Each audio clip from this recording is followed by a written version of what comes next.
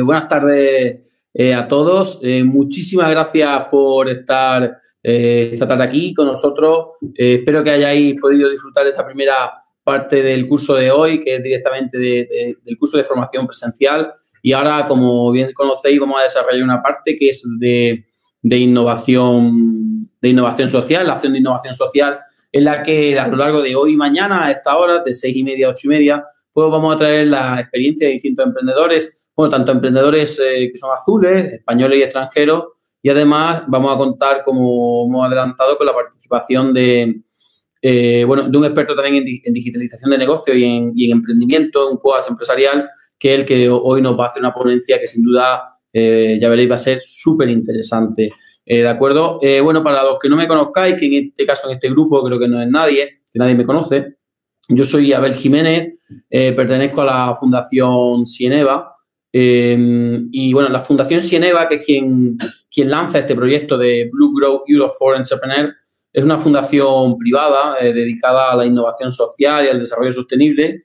Y, eh, bueno, lanza este proyecto de Blue Grow Europe for Entrepreneur eh, pues en su firme intención de seguir apoyando el emprendimiento, de seguir haciendo, bueno, esa labor social que, por supuesto, dado nuestro cariño, nos caracteriza y, y, siempre hemos venido muy focalizada en el tema del desarrollo empresarial, del desarrollo de competencias profesionales para para personas y muy focalizado específicamente en el emprendimiento, en autoempleo, ¿no? Que sin duda, em, bueno, es siempre una posibilidad de desarrollo profesional a tener en cuenta, incluso en circunstancias ahora pues, en las que la economía quizás eh, muestra algunos signos de, debilidad, pues puede convertirse sin duda en una opción profesional muy importante y muy a tener en cuenta de cara a un, pues, a un correcto desarrollo profesional de, las personas, ¿de acuerdo? Y bueno, con esa misma intención, pues lanzamos este proyecto, en, esta, en este caso, obviamente, centrado, como bien sabéis, en la economía azul. Y hemos tenido la suerte de que nos ha financiado el Fondo, el Fondo Social Europeo, por lo tanto, hemos podido tener un mucho mayor impacto, hemos podido llegar a otros grupos. Y bueno, el Fondo Social nos ha financiado a través de un programa que se llama Emplea Verde en su convocatoria de 2019, concretamente dentro del eje Conecta Azul y este programa pertenece al programa operativo de educación, formación y empleo y que lo gestiona la Fundación Biodiversidad, también una fundación, pero en este caso de Derecho Público, que pertenece al Ministerio de Transición Ecológica eh, del, Gobierno de España. Y bueno, este proyecto cuenta con distintas acciones, como ya muchos de vosotros conocéis, para resumiros muy fácilmente. Eh, cuenta primeramente con la acción de, de asesoramiento, de la cual eh, ya creo que la mayoría de vosotros estáis ya desarrollando, que básicamente se basa en, un asesoramiento, en un acompañamiento individualizado, especializado a cada uno de los emprendedores de este curso que eh, van a poder eh, desarrollar, bueno, pues todos aquellos conceptos, todas aquellas cuestiones que son necesarias para la puesta en marcha de su negocio o para el desarrollo del plan de empresa. Es decir, depende de la fase en la que estén en su emprendimiento, pues van a poder obtener un asesoramiento especializado tanto en temáticas generales como en temáticas puramente de economía azul, que le van a hacer posible pues, desarrollarse un poquito más y dar más pasos hacia esa puesta en marcha de los negocios, ¿de acuerdo? Eh, ahí viene, o sea, desde el punto de vista práctico, hay una serie de contenidos que están en la plataforma, como bien sabéis, para ir desarrollando. Y la cuestión clave es que aquellas cuestiones que consideréis más importantes, las que tengáis más dudas, o por vuestra formación, por el tipo de proyecto que queréis poner en marcha, sea más interesante para vosotros, pues eh, pues las comentéis con esos asesores de manera, bueno, iba a ser de manera presencial, yo lo digo, pero bueno, finalmente de esta manera online que es casi, casi presencial, ¿no?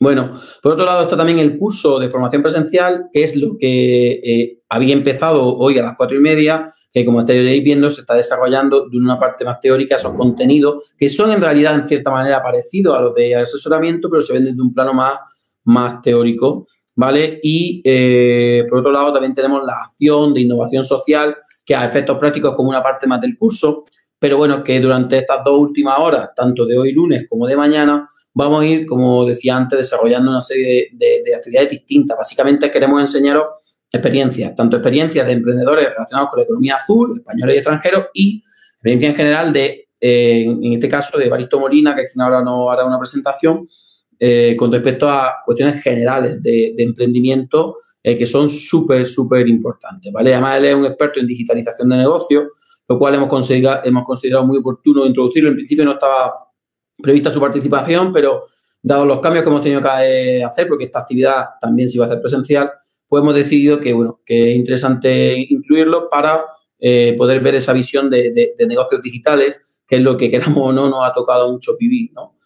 Eh, por otro lado, indicaros también que eh, hay una actividad dentro del proyecto que se llama la estancia formativa, en este caso se desarrollaría en Berlín, en Alemania, y consiste en lo siguiente, que nosotros vamos a evaluar de todas las comunidades autónomas que estén participando, en este caso de Andalucía también, eh, todas las ideas de negocio que tenéis, vuestro desarrollo personal, vuestra formación, vuestro uso de este curso. Vamos a hacer una evaluación conjunta y vamos a seleccionar en total de todo el proyecto a 10 personas que nos vamos a llevar, como estoy diciendo, a Berlín. Seguramente será en septiembre, durante 10 días, por supuesto, todos los gastos pagados, eh, con el objetivo de ver iniciativas verdes y azules, es decir, visitar empresas que ya están muy consolidadas en el sector verde, en el sector de, eh, bueno, de temas relacionados con, el cambio climático y, por supuesto, en temas relacionados con la economía puramente azul.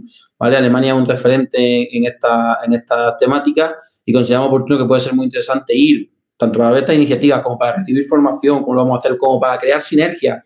Quizá alguno de vosotros tiene alguna idea de negocio, que allí ve a alguien que hace algo similar y puede surgir una posibilidad de colaboración.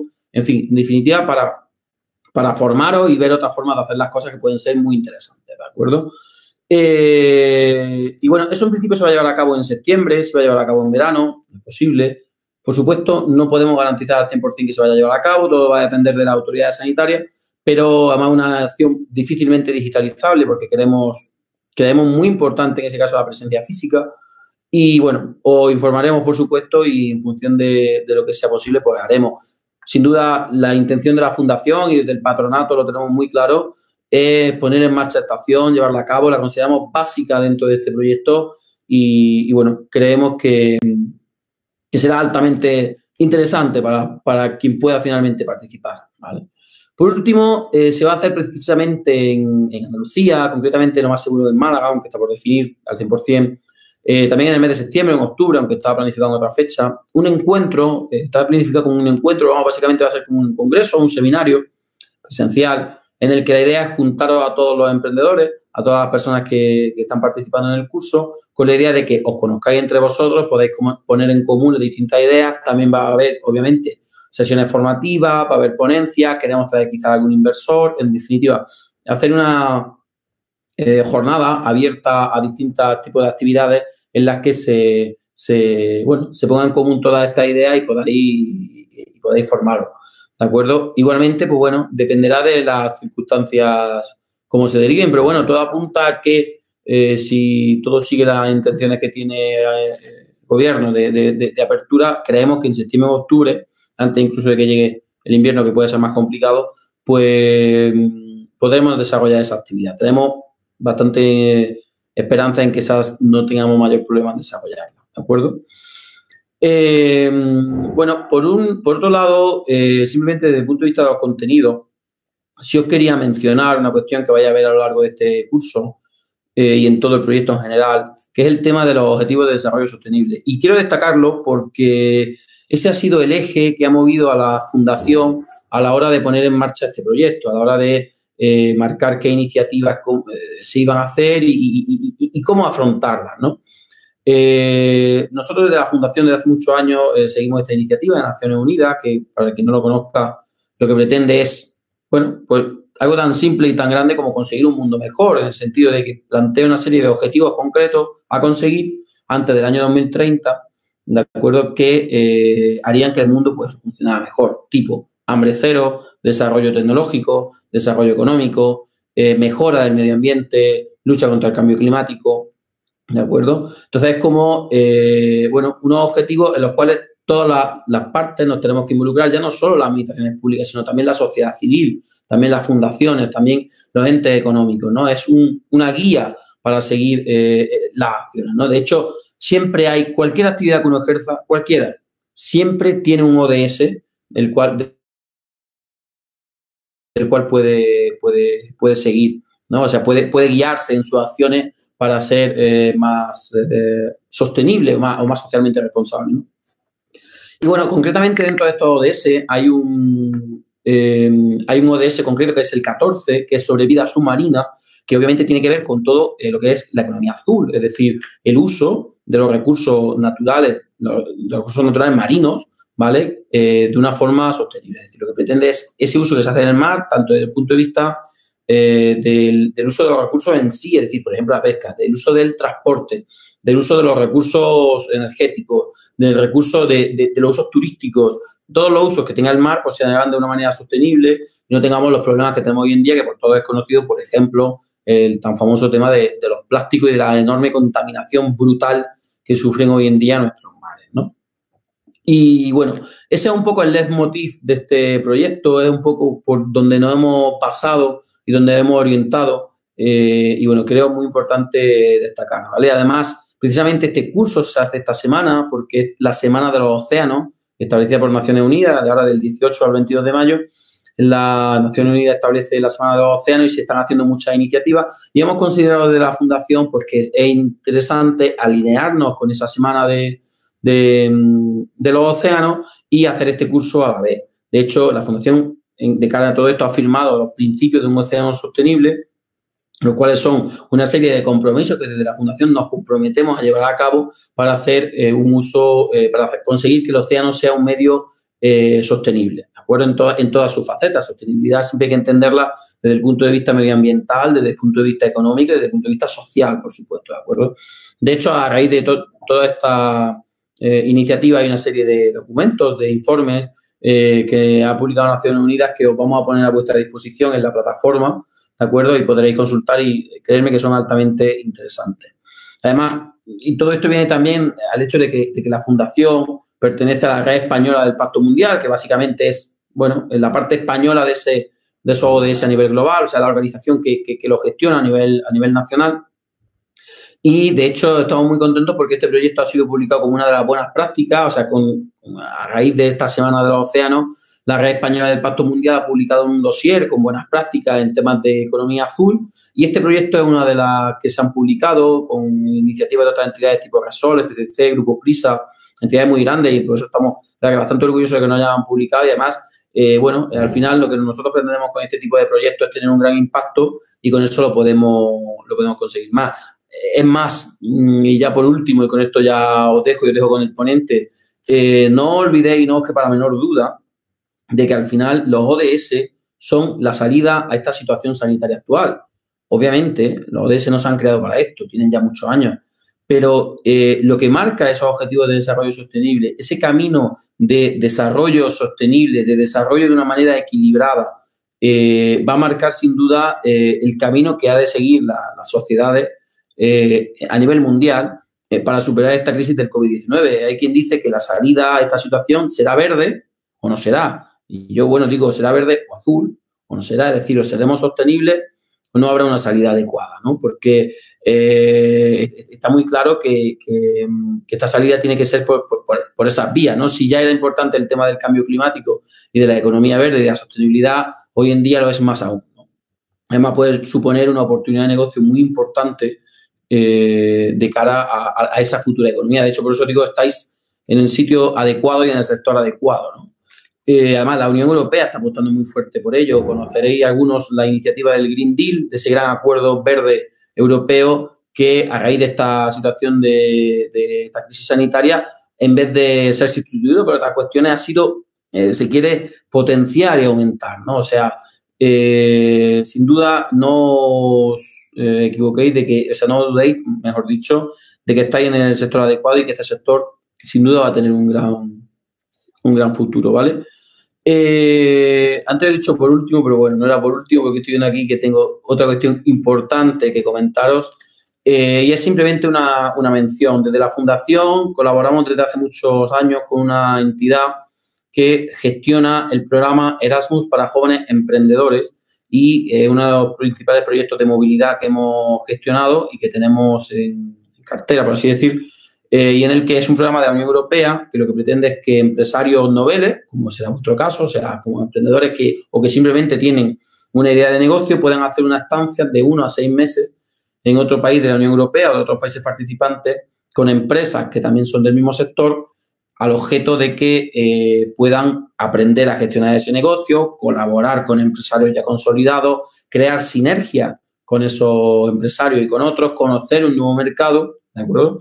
Ahora mismo está un poco paralizado porque es un proyecto de movilidad y, ahora mismo la movilidad está un poco parada, como todos conocemos, pero sin duda eh, se va a reactivar prácticamente ya y eh, es una gran oportunidad que os animo a que os planteéis eh, de participar porque aparte de, todas estas posibilidades de desarrollo profesional está muy bien dotado económicamente y puede ser una salida profesional temporal a esta situación que estamos viviendo y puede, puede haceros tener una experiencia en extranjero muy beneficiosa. Por lo tanto, me pongo a vuestra entera disposición para el que quiera obtener más información sobre este programa, que sin duda es una es una eh, es una gran oportunidad para vosotros, ¿vale? Bueno, sin más, os voy a dejar con Evaristo Molina Fernández, que es quien va a desarrollar esta parte, como os decía, de digitalización de negocios y bueno, y sobre todo de emprendimiento en general eh, Baristo es profesor en el, en el máster de entrenamiento personal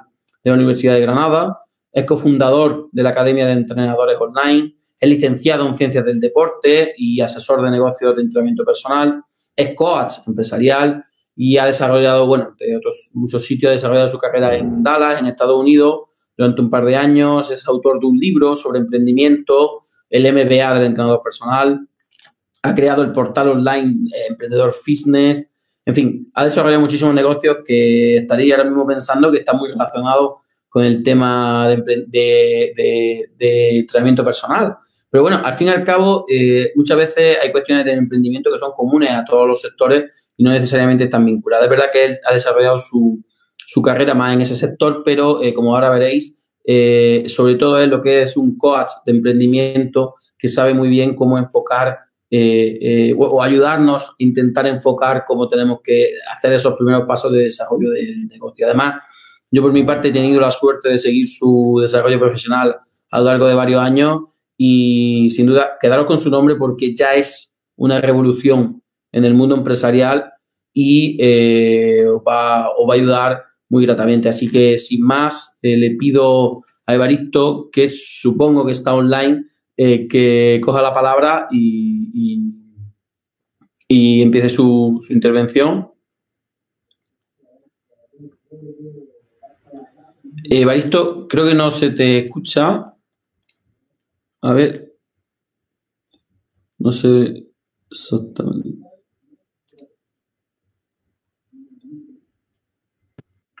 No, efectivamente no se escucha, Baristo.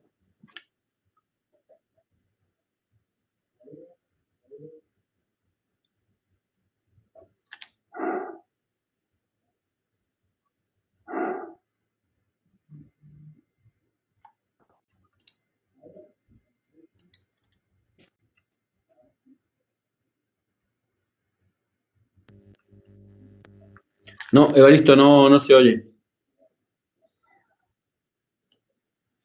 Bueno, disculpad los problemas eh, técnicos. Eh, a ver si lo podemos tener en un segundo. Son las cosas del directo. y de la tecnología que a veces ayuda y a veces no tanto. No.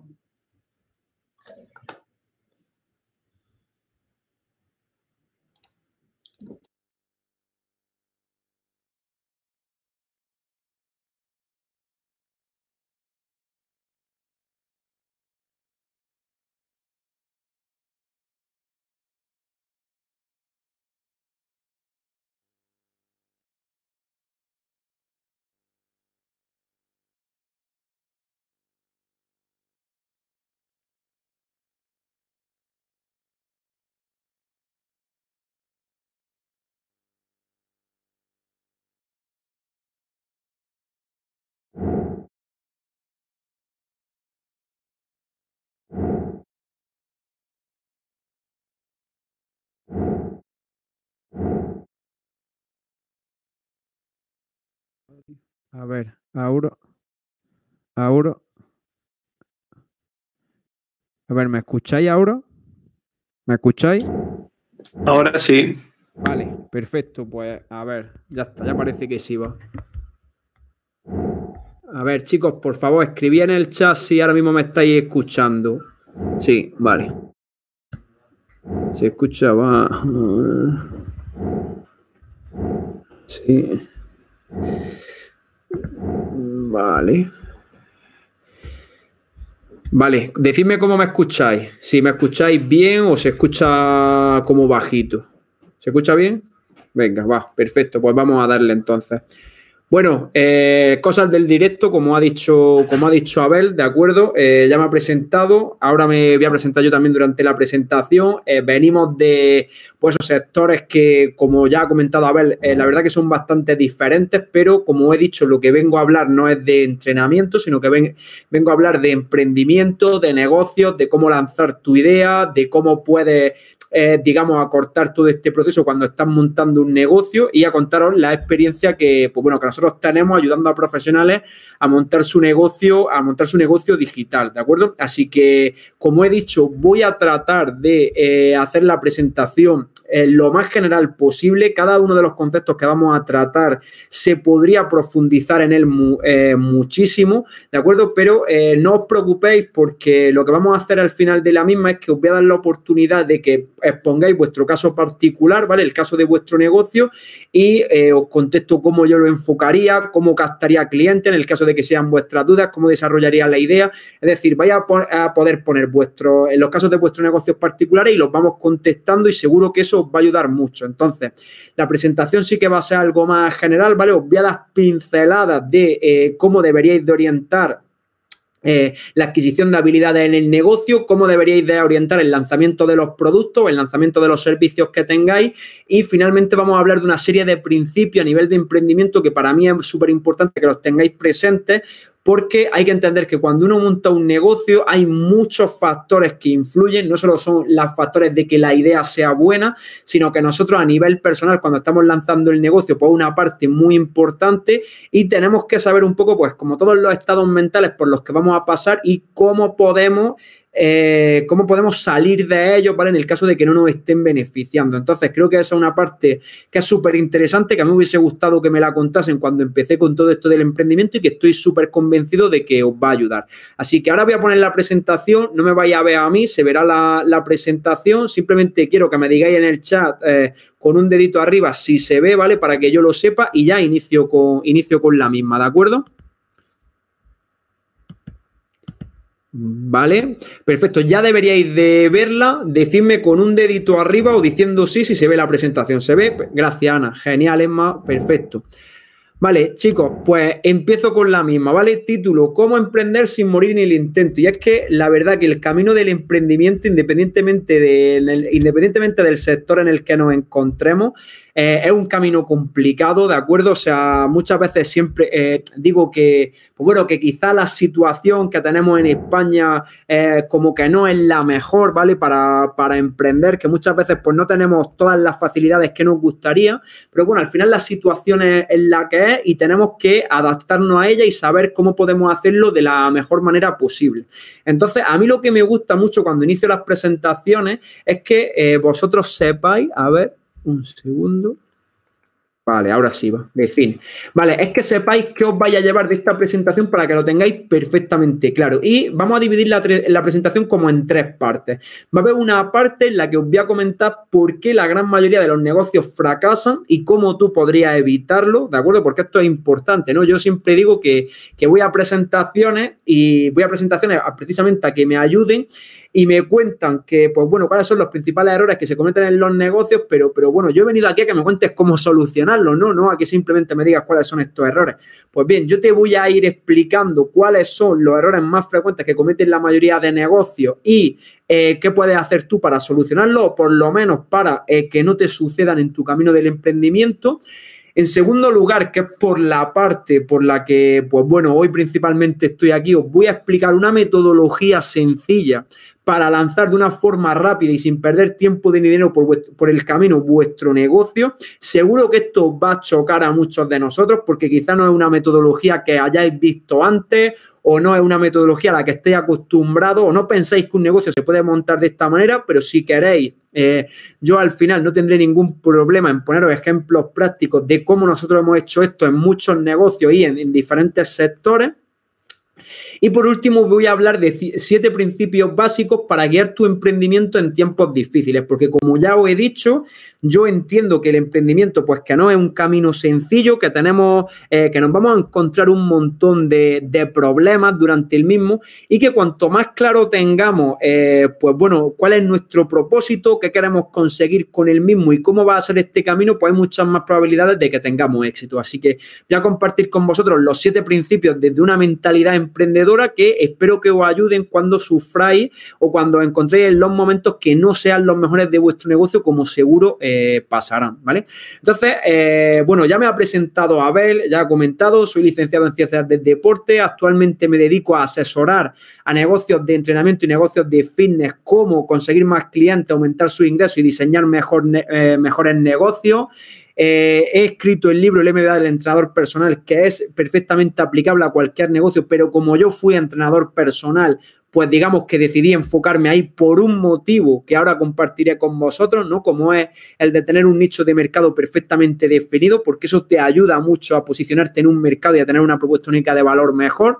Y aparte, pues bueno, ahora soy también profesor del máster de entrenamiento personal de Granada y la parte que me toca o que quiero compartir más hoy con vosotros, soy cofundador de la Academia de Entrenadores Online que es la primera formación en habla hispana que ayuda a profesionales del fitness a digitalizar sus negocios y a vivir de ello. Es decir, nosotros ayudamos a profesionales a montar sus negocios online y vivir única y exclusivamente de ello. Y ahora mismo es la única formación que hay en habla hispana de, de este tema, ¿vale? Así que os voy a explicar cómo el proceso que nosotros seguimos en la academia, a grosso modo, porque obviamente no es un proceso que se pueda explicar en una charla de una hora, pero que estoy seguro que os va a aportar unas ideas súper útiles para aplicarlas en los modelos que vosotros tenéis. Entonces, a mí siempre me gusta eh, empezar colocando un poco en situación, ¿vale? Y sabiendo cuál es la realidad del mercado español. Y la realidad es la siguiente, ¿vale? Si veis esta gráfica, representa el, el porcentaje de negocios que sobreviven pasados los primeros cinco años. Es decir, tú abres un negocio y pasan cinco años y solo el 29%, lo repito, solo el 29% de los negocios pasados cinco años están abiertos. Esto quiere decir, y fijaros qué tremenda es esta cifra, que dos de cada tres negocios que abran cerrarán sus puertas en sus primeros cinco años de vida. Es decir, si en este seminario estáis unas 30 personas, quiere decir que 20 de vosotros, si tenéis una idea de negocio, si lo abrís, lo más probable es que cerréis. Y no lo digo con el objetivo de desalentaros con el objetivo de no invitaros a que abráis vuestro negocio, sino os lo digo con el objetivo de, oye chicos o chicas, tenéis que estar atentos, tenéis que ser conscientes de que la realidad del mercado es esta y de que si estos son los números es porque hay algo que nosotros como emprendedores no estamos haciendo bien, ¿vale? Ya me, da igual que sean emprendedores eh, relacionados, eh, relacionados con el mundo, con el mundo del mar, ¿vale? o emprendedores relacionados con el mundo de la naturaleza o emprendedores con el sector del fitness. Me da exactamente lo mismo. La realidad es que cuando montamos nuestros negocios, algo no estaremos haciendo bien cuando dos de cada tres negocios cierran. Y la pregunta que yo os planteo, que no es necesario que me la contestéis, pero sí que me gustaría que reflexionarais sobre ella, es ¿cuáles creéis que son los motivos que llevan a estos negocios a cerrar? ¿Vale? ¿Cuáles pensáis que son los motivos por los que la mayoría de los negocios cierran?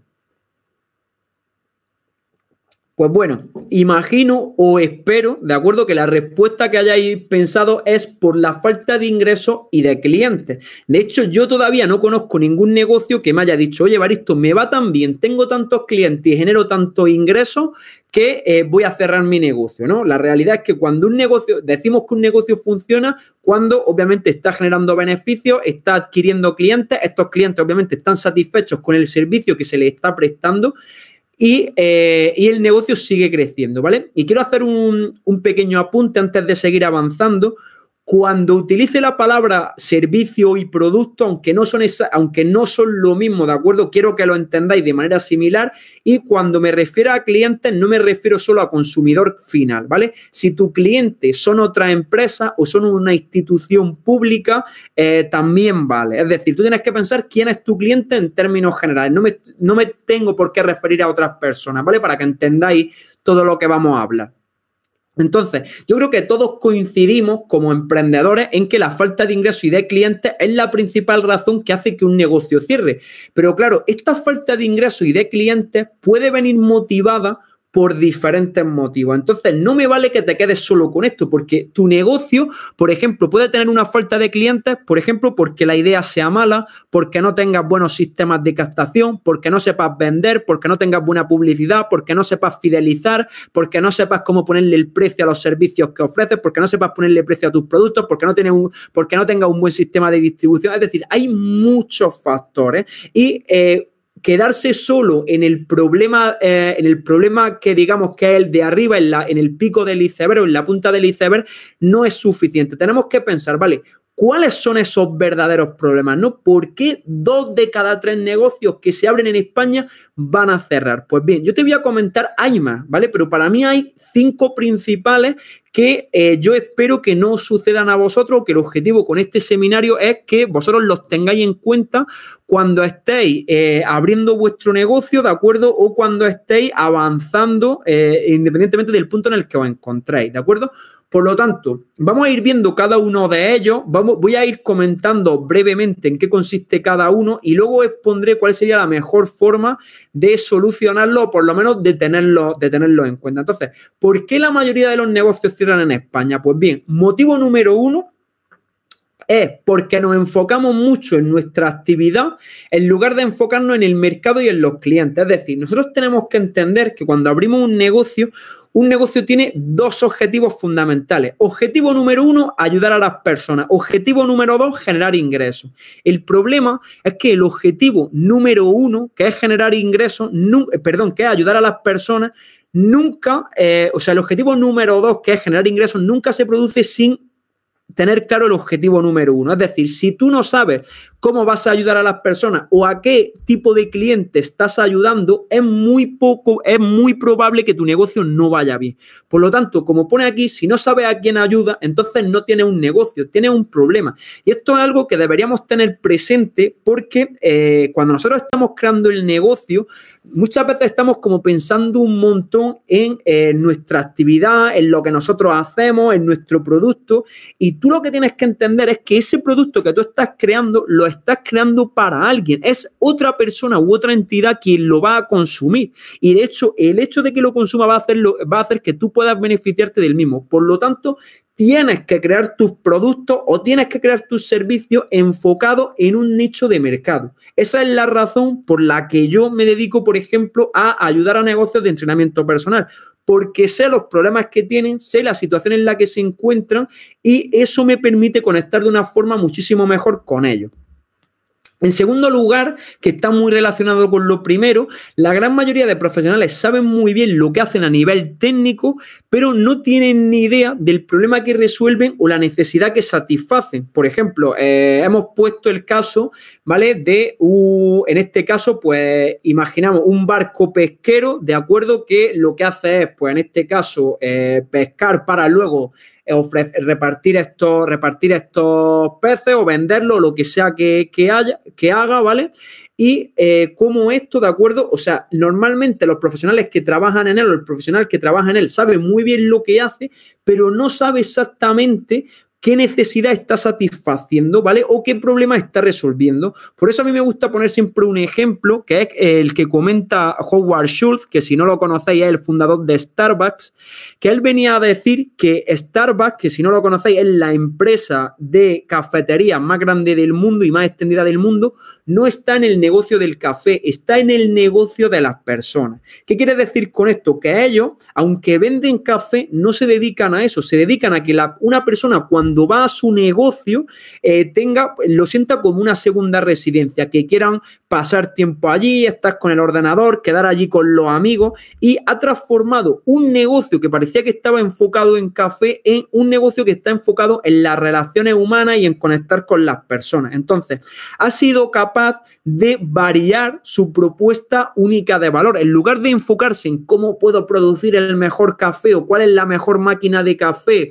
o cómo puedo poner la cantidad exacta de cafeína en cada café con X cantidad de leche, él se ha enfocado en eh, tener la base de ese negocio pero con otra propuesta única de valor. Es decir, se ha enfocado en otro problema que había en la sociedad y ha tratado de resolverlo. Por lo tanto, tú cuando montas tu negocio tienes que saber qué te hace diferente. O sea, tú tienes que tener claro qué hace diferente a tu negocio, cómo puede distinguirse de otros negocios y sobre todo cuál es, eh, digamos, ese problema o esa necesidad que tú estás satisfaciendo porque eso es lo que vas a comunicar. Porque lo que tienes que entender es que las personas no compran tus productos o tus servicios, compran una solución a sus problemas o una satisfacción a su necesidad, ¿vale? Y cuando tienes esto claro y diseñas tus productos y tus servicios a partir de ahí, es mucho más fácil todo el proceso de pensamiento y todo el proceso a la hora de montar tu negocio. El tercer problema, de acuerdo, que nos encontramos en la gran mayoría de las ocasiones, sobre todo con los negocios que están arrancando, esto si ya está funcionando no suele pasar tanto, pero cuando están arrancando, es que no sabemos comunicar el verdadero valor del servicio o el producto que ofrecemos y lo que es aún peor, no tenemos un plan definido y estratégico para conectar a las personas con nuestro negocio. Es decir, nos enfocamos tanto en nuestro producto o en nuestro servicio o en lo que nosotros hacemos que nos olvidamos de que tenemos que comunicar el valor que tiene nuestro producto o nuestro servicio. Tenemos que conseguir que las personas sepan cómo podemos ayudarlas, cómo podemos resolver su problema y qué puede hacer nuestro producto o nuestro servicio por ellos. O sea, no podemos eh, levantarnos por la mañana y pensar que los clientes van a llamar a nuestra puerta, sino que tenemos que tener un plan estratégico que conecte a esos clientes ideales, a ese nicho de mercado con el producto o servicio que nosotros le vamos a ofrecer. Y para ello tenemos que saber sobre marketing y publicidad. ¿Por qué? Porque el mayor problema que tiene un negocio, sobre todo cuando arranca, es ser invisible. Porque si nadie te ve, no existe. Y da igual que tengas el mejor negocio del mundo, que si las personas no lo conocen, es como si no existiese y nunca vas a poder ayudarlas. Por lo tanto, cuando estés planificando tu negocio o cuando estés iniciándote en el mundo del emprendimiento, tienes que intentar, por encima de todo, no ser invisible y que las personas a las que puedes ayudar sepan lo que puedes hacer por ellas. En cuarto lugar, otro de los problemas que hace que los negocios no funcionen es no tener una estrategia y un proceso de venta claros que nos permita convertir a los visitantes o prospectos, ¿vale? Prospectos son personas que podrían estar interesadas en tu negocio, pero que todavía no son clientes, en clientes de pago. Y para ello tienes que tener lo que se denomina un proceso de venta o un sistema de venta, porque nada cambia hasta que ocurre la venta. ¿Qué quiero decir con esto? Que un negocio eh, puede que le parezca muy bien a las personas como la idea que tienes, el negocio que has montado, el beneficio que aporta al mundo, pero si no te compran, primero tu negocio no genera ingresos y en segundo lugar tú no puedes ayudar a esa persona, a esa institución, eh, a ese ayuntamiento, a ese pueblo, a esa ciudad a resolver ese problema. Es decir, hasta que no se produce la compra de tu servicio, tú no puedes comenzar a ayudar a las personas. ¿Qué pasa?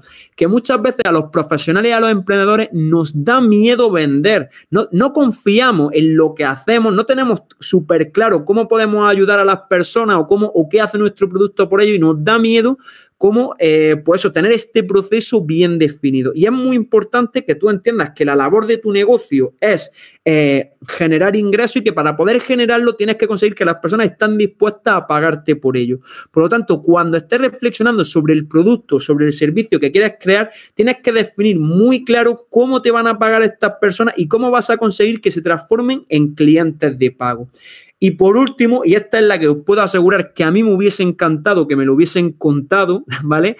Es que tienes que conocer los números básicos de tu negocio. O sea, y necesitas tener un sistema para el control de las finanzas, ¿vale? Un sistema para el control de los mismos. ¿Por qué? Porque el dinero es la sangre del negocio y tienes que asegurarte de mantenerlo en circulación, ¿vale? Y dentro de finanzas me refiero a qué precio le pones a tus servicios o a tus productos, por qué le pones ese precio, cómo van a llegar los ingresos a tu negocio, cómo vas a sacar, cuáles son los gastos fijos, cuáles son los gastos variables, cuál es tu margen de beneficio, cuál es tu, cómo es tu cuenta de resultados. Es decir, necesitas, no te estoy diciendo que tengas que, que tengas que ser, eh, que tengas que tener un máster en economía, pero tienes que tener un conocimiento básico sobre finanzas. Porque sabes lo peor que, ¿sabes qué hay peor que tener clientes? Lo peor que hay es tener clientes y no generar ingresos. Es decir, yo conozco negocios con los que he empezado a trabajar que tenían una actividad económica, es decir, ellos estaban ayudando a personas, pero no eran rentables, estaban trabajando gratis. Y eso es lo peor que hay. ¿Por qué? Por no tener un buen control de las finanzas. O no te puedes imaginar, ¿vale?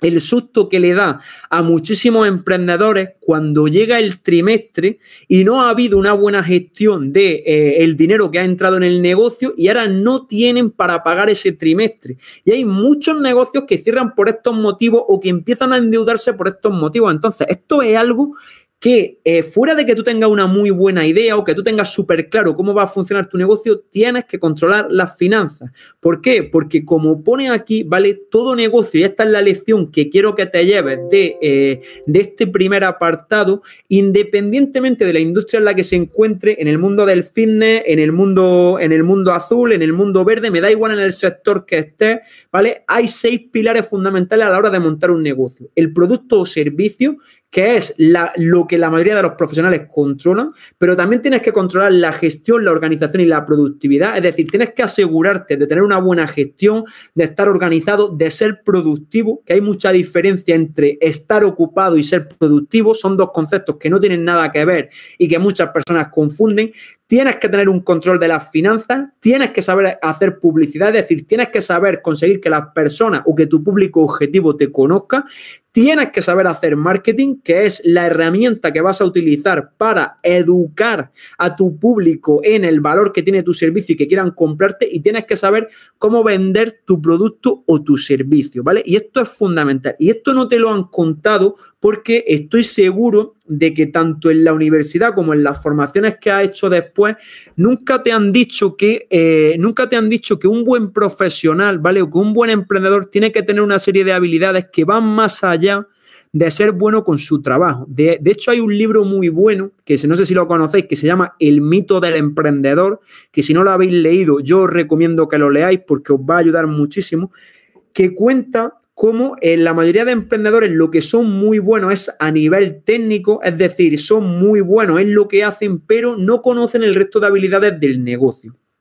Entonces, este modelo de la T, para que lo tengáis claro, es una representación gráfica de cómo debería distribuirse la adquisición de habilidades en cualquier profesional. Es decir, si tú eh, quieres convertirte en, un emprendedor completo, ¿vale? Si tú realmente quieres tener un negocio que funcione, necesitas, como vemos en la parte de abajo de la T, tener muy desarrollada tu habilidad diferencial, es decir, tienes que ser muy bueno haciendo tu trabajo o tienes que tener una propuesta de valor muy clara en tu negocio y hacerte muy bueno, es decir, tienes que ir muy, tienes que ir muy profundo, pero necesitas, como pone arriba, tener amplitud y una competencia básica, es decir, no necesitas ser un experto, pero necesitas tener una competencia básica en habilidades personales, es decir, necesitas saber comunicarte, tener liderazgo, saber eh, cómo conectar con las personas, tener empatía y necesitas tener habilidades emprendedoras, que son las que yo me dedico a enseñar, que es necesitas controlar las finanzas de tu negocio, necesitas saber hacer marketing, saber hacer, eh,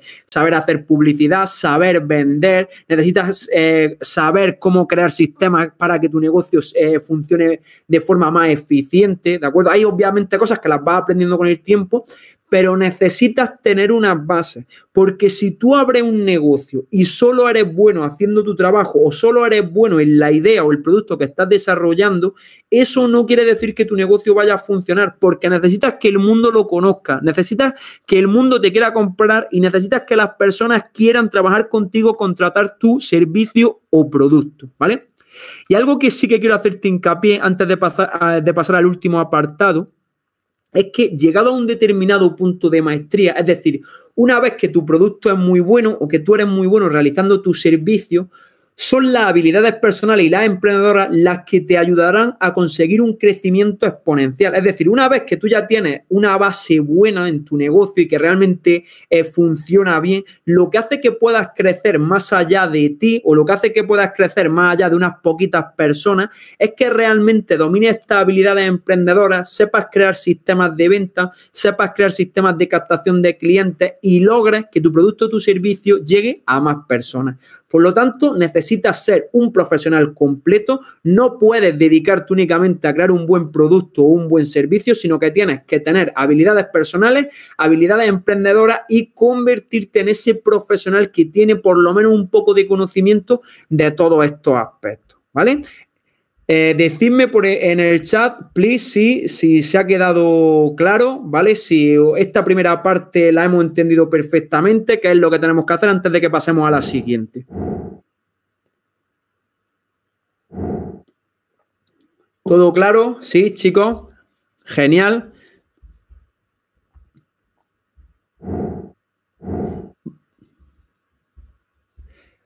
Sergio, eh, diferencia entre publicidad y marketing. Vale, la diferencia entre publicidad y marketing es que la publicidad son las herramientas que tú utilizas para que la persona tenga un primer contacto contigo o tenga un primer contacto con tu negocio. Y el marketing, ¿vale? Son todas las estrategias que utilizas para educar a la persona en el valor de tu servicio. Es decir, por publicidad vamos a entender ¿Cómo consigues que la primera, la, que la persona tenga un primer contacto contigo o un primer contacto con tu marca y el marketing es el conjunto de procesos, comunicaciones, acciones que tú realizas para que la persona poco a poco vaya conociendo más tu servicio o tu producto y quiera trabajar contigo, ¿vale? Entonces, publicidad, primer contacto y marketing, el proceso educativo que facilita la venta. Y la venta es el momento en el que el cliente realiza la transacción económica con, con nosotros, ¿vale? Luego, si queréis, ponemos un ejemplo de un caso particular, ¿vale? Para no, para no detenerme mucho. ¿Vale? Que este, este tema es súper interesante y es verdad que muchas veces se confunden publicidad y marketing.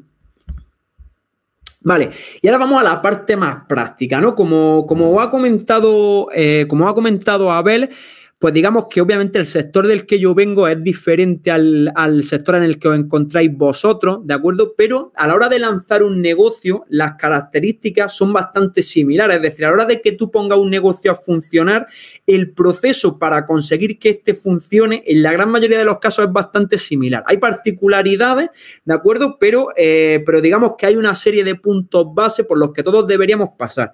Entonces, en esta presentación quiero que, tengáis en cuenta una cosa, ¿vale? En este apartado.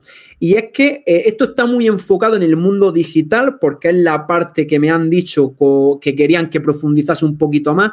Entonces os voy a explicar una metodología que se aplica no solo en el sector del fitness, sino que nosotros la hemos aplicado en otros sectores y que obviamente esta metodología no la hemos inventado nosotros, sino que ya se ha probado en muchos sectores y funciona perfectamente y lo que va a ayudarte es a que tú obtengas feedback de las personas y a que tú puedas lanzar tu producto tu servicio en el menor espacio de tiempo posible. Y es que tenemos que entender que probablemente eh, pues se ha ido, en este caso, si sabes algo de, negocio y demás, te han dicho que lo primero que tienes que hacer es pues un plan de negocio, tienes que redactarlo súper bien, tienes que, pues poner un análisis del mercado, un análisis de la competencia, análisis de los precios, es decir, tienes que como hacer un mega estudio antes de lanzar tu negocio. Y esto es verdad que es importante, es decir, hay una parte que sí que hay que hacer, pero eh, no podemos evitar que eso nos retrase. ¿Por qué? Porque esta es una metodología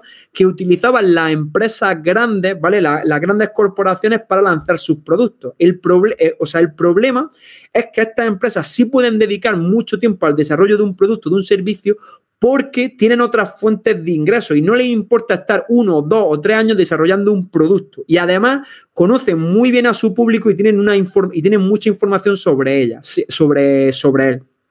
Sin embargo, nosotros como emprendedores lo que normalmente tenemos son buenas ideas y mucho tiempo, ¿vale? Para, y mucho tiempo para aplicarlas. Entonces, tenemos que entender que esas metodologías que utilizan las grandes empresas no son las mismas que nosotros podemos utilizar. ¿Por qué? Porque nosotros, al ser pequeños, tenemos que ser rápidos, tenemos que ser ágiles y tenemos que lanzar nuestro producto lo antes posible para ver si el mercado lo quiere o no. Y en base a eso tomar decisiones. Porque lo que muchas veces nos pasa como emprendedores es que nosotros tenemos muy buenas ideas, es decir, somos personas muy creativas, pero eh, que tú pienses que algo funciona o no es indiferente porque es el mercado el que lo tiene que, decir. Entonces, para ayudarte con esto, ¿de acuerdo? Para hacerlo de una forma más, sencilla, eh, nosotros utilizamos a nivel, de, a nivel de montar negocios digitales la metodología Lean Startup, ¿vale?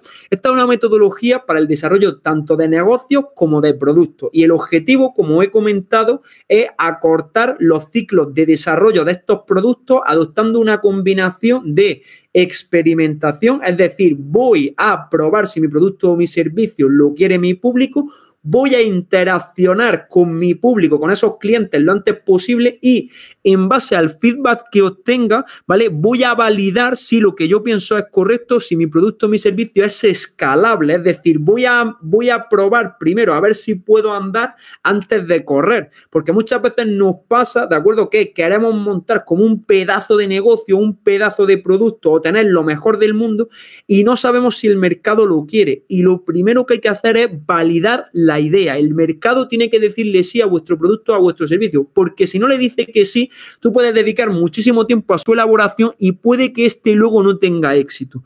Y no hay nada peor que dedicarle muchísimo tiempo a un negocio y que este luego no funcione. Entonces, ¿cómo se aplica esta metodología? Bien, pues básicamente hay como tres puntos, ¿vale? El punto inicial, como hemos dicho, hacemos una, lo que vamos a hacer, ¿de acuerdo? Es una hipótesis. Lo que tú vas a hacer es analizar en este caso eh, un problema que haya, eh, o sea, un problema que tenga un público determinado o una necesidad que hay. En base a eso, tú lo que haces es crear un producto, ¿vale? O hacer un lanzamiento de un producto que va a iterar, es decir, que va a cambiar. Ahora veremos lo que es esto.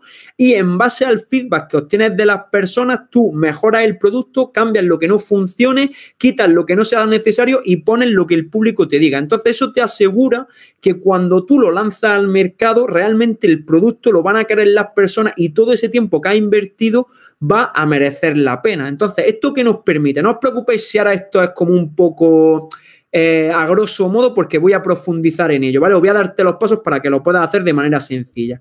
Pero bueno, la hipótesis eh, lo que te permite, ¿de acuerdo? Es que tú al eh, crear este producto, ¿de acuerdo? O este servicio mínimo viable, que es como se llama, ¿vale? Al crear una idea de lo que es el producto, Tú lo que haces es, eh, lo pones en el mercado, ¿vale? Y prueba, ¿vale? A ver cómo las personas interaccionan con él, eh, pues qué feedback te dan, si les gusta, si no les gusta, si realmente eh, la gente lo acepta, si no lo acepta. Y en base a esa información que vas obteniendo, vas haciendo una construcción iterativa del mismo. Es decir, poco a poco lo van mejorando. De hecho, la filosofía de este tipo de metodología es mejor hecho que perfecto. Y eh, la otra frase que dicen mucho las personas que aplican esta metodología es, si no te arrepientes de la primera versión de tu producto, de tu servicio, es que lo lanzaste demasiado tarde. ¿Vale? Es decir, si no te avergüenzas de lo primero que has hecho, es probablemente porque has esperado mucho para lanzarlo. No hay problema, ¿de acuerdo? En que el producto no esté 100% terminado o que eh, el servicio que tienes no esté 100% completo, por lo que, porque lo que estás haciendo es recoger información. Entonces, esto nos permite reducir los riesgos del mercado. ¿Por qué? Porque no tenemos que, eh, no tenemos que esperar tanto tiempo, no tenemos que lanzar algo que no sabemos si las personas van a querer o no.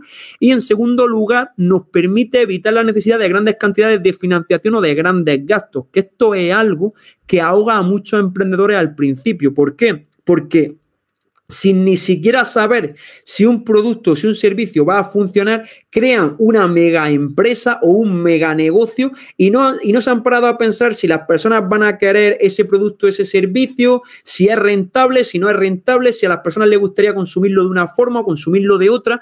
Y eh, todo esto, de acuerdo, hace que muchas empresas se lancen al mercado sin ni siquiera saber si el público eh, quiere estos productos o estos servicios. Entonces, ¿Cómo se lleva a cabo la metodología? Pues bien, lo que he dicho, inicialmente tienes una idea, ¿vale? Tienes una hipótesis de cuál es tu, esa idea de negocio que tú tienes, que imagino que es lo que tenéis todos aquí. Una vez que tienes esa idea de negocio, lo que haces es que construyes y construyes tu producto mínimo viable, que el producto, ahora veremos lo que es, ¿de acuerdo? Y cómo se, cómo se construye, mides la respuesta de los clientes, es decir, analizas qué te dicen las personas con las que están interaccionando con tu producto o tu servicio, y en base a lo que te dicen, aprendes, es decir, tomas notas, eh, investigas, analizas qué es lo que está sucediendo, y en el caso de que sea necesario, pues vas mejorando el producto, en el caso de que esté bien, empiezas a escalar escalarlo. Es decir, lo primero que haces, validas tu idea, compruebas que el mercado quiere lo que tú estás dispuesto a vender y una vez que el mercado te ha dicho, sí, este producto es bueno, sí, este servicio es bueno, entonces ya piensas cómo podría, eh, cómo podría escalarlo. Entonces, ¿cómo se aplica esta metodología? Y quiero que tengáis una cosa en cuenta. Vamos a ver, eh, son cinco pasos los vamos a ver muy por encima. Luego, como he dicho, si queréis al final, me detenéis, me preguntáis cómo se aplica esto en vuestro caso particular y eh, lo comentamos. Y que a nadie le resulte raro eh, o que nadie, que, nadie se extrañe de la metodología que vamos a, a, comentar, porque como ya os he dicho, la hemos probado en muchos negocios, está probada en muchos sectores y es algo que funciona perfectamente y sobre todo que permite ahorrarte mucho dinero y mucho tiempo por el camino. Lo primero, como ya hemos dicho, es que sabemos que el objetivo de un negocio es ayudar a las personas o resolver un problema. Por lo tanto, lo primero que tenemos que hacer es buscar un problema, una necesidad común que tenga un grupo de personas, ¿vale? O que tenga una entidad. Ya os he dicho que no tienen por qué ser personas físicas. Puede ser un grupo de personas, pero también puede ser una entidad pública, pero también puede ser una ciudad, un pueblo o, eh, es decir, tu cliente final puede ser cualquier persona, pero tienes que buscar algo pues, es decir, un problema que tengan estas personas o una necesidad que tú veas, ¿vale? Una vez que tienes esto claro, lo que hace es diseñar una propuesta única de valor. ¿Qué es una propuesta única de valor? Digamos que la idea de lo que va a ser tu negocio, es decir, eso que tu negocio va a aportar al mundo o va a aportar a esas personas y que además, y esto es muy importante, tiene que ser diferente de las soluciones que hay en el mercado. Porque si, por ejemplo, me dices, eh, bueno, Baristo, yo es que lo que voy a hacer es montar otro bar.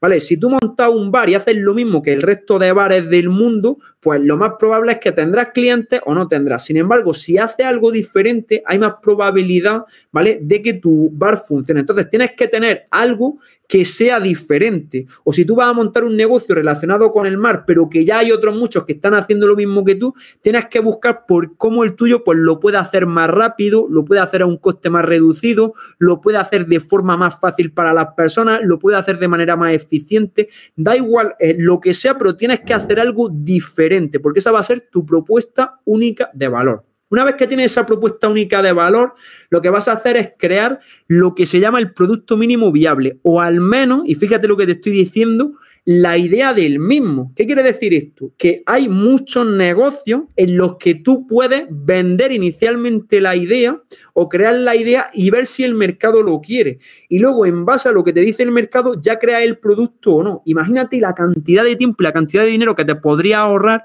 si antes de crear una infraestructura enorme o de crear un producto que sea súper complejo y que requiera mucho tiempo, lanzas lo que se llama una, una versión beta, ¿vale? Un producto mínimo viable ves cómo está interaccionando la gente con este producto, con este servicio y en base a ello lo van mejorando. Y si ves que no lo quieres, lo bueno es que no has desperdiciado ni mucho tiempo ni mucho dinero y, tienes, y puedes variar cuanto antes. Es decir, eres ágil y rápido. Y ese tiene que ser el objetivo de tu, de tu empresa, ¿vale? O de tu negocio. Entonces, tenemos el problema o la solución que resolvemos a estas personas, tenemos la propuesta única de valor y luego tenemos ese producto mínimo viable que es cómo convertimos esa propuesta única de valor en algo que sea consumible o por lo que las personas eh, nos puedan pagar. Una vez que tenemos esto, el cuarto paso, y fijaros lo que pone, si es posible, lo ideal sería venderlo por adelantado. Es decir, si tú tienes una idea de negocio y tienes la posibilidad de venderla incluso antes de crearlo todo, ¿de acuerdo? Es muchísimo mejor. ¿Por qué? Porque si tú eres, si eres capaz de transmitir tu idea a las personas y ves que las personas muestran interés por ella y que incluso te pagan por ello, incluso antes de que lo tenga hecho, ¿de acuerdo? Esto te permite a ti eh, tener mucha más claridad sobre qué tipo de producto tienes que crear y te da mucha más seguridad en la línea de la que estás trabajando. Y te pongo un ejemplo para que veas cómo nosotros realizamos esto. Fíjate. Una de las cosas que, uno de los negocios que, tenemos es enseñar a entrenadores, ¿de acuerdo?, a eh, montar sus negocios, ¿vale? y nuestro producto mínimo viable, o sea, en este caso, antes de lanzar el producto, que es un programa que está ya grabado online, que las personas pueden comprar y pueden consumir, lo primero que nosotros hicimos fue ayudarlo de forma eh, online, pero presencial, es decir, con ellos. Entonces, eso no requería inicialmente tiempo de creación, sino que simplemente íbamos ayudándolo y en base a los feedbacks que recibimos, pues eh, luego ya creamos el producto. Entonces, eso nos permitió, eh, nos permitió lanzar el negocio antes, empezar a generar ingresos, ver si eso ayudaba a las personas y luego eh, ya montamos un producto que se puede comprar sin nuestra presencia, ¿vale? Pues esto se puede hacer con cursos, se puede hacer con libros, se puede hacer eh, eh, con otros negocios que hay, pues de, o sea, bueno, luego si queréis me hacéis las preguntas y os explico, ¿vale? Para que, para que sean más específicas a vuestro sector, que no quiero irme mucho del, del tema, ¿vale? Entonces, la idea es si puedes venderlo por... Eh, si puedes venderlo por adelantado, genial, ¿vale? Y si no es posible, pues crea una versión mínima del mismo y lo lanza al mercado. Y luego con esta versión mínima del mismo, aplicas la metodología Lean Startup.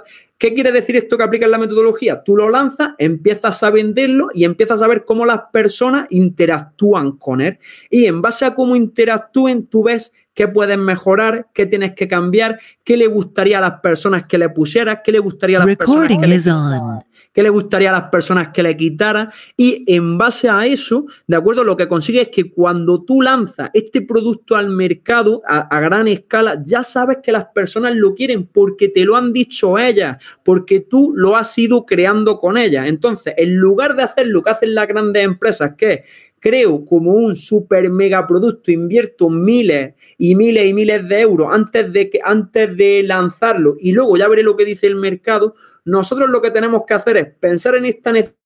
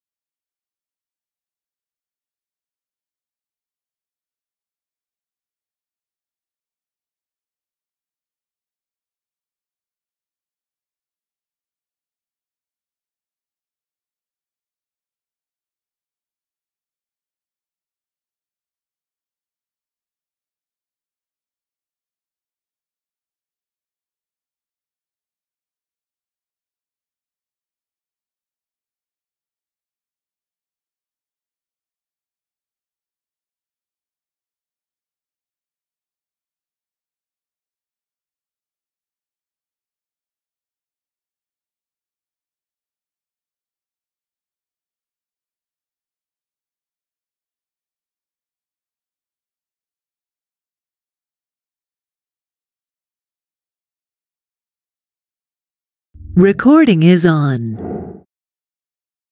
¿Por qué no te buscas un trabajo seguro, te haces funcionario, eh, te haces una oposición y eh, vas a estar más tranquilo? Es decir, muchas veces los emprendedores sentimos que nuestro entorno no nos comprende y lo peor de todo es que además de que no nos comprenden, sobre todo cuando estamos iniciando el negocio, este no funciona como a nosotros nos gustaría. Entonces, se junta ese entorno que tenemos con eh, que los resultados que estamos obteniendo no son los mejores y eh, es muy probable, ¿vale? Que es como que perdamos esa pasión o perdemos esa ilusión y cuesta mantenernos en el foco, ¿no? Cuesta mantenernos eh, intentando sacar el negocio adelante. Entonces, algo que a mí personalmente me ha ayudado mucho a lo largo de los años es eh, la mentalidad. ¿vale? Yo soy una persona, es verdad que soy muy práctico, que a mí me gusta entender las cosas y me gusta conocer todos los procesos que he compartido con, vosotros, pero os puedo asegurar que si no tenéis una mentalidad fuerte, que si no tenéis claro una serie de principios, eh, va a haber momentos en el negocio en los que queráis abandonar porque se van a poner las cosas complicadas y es ahí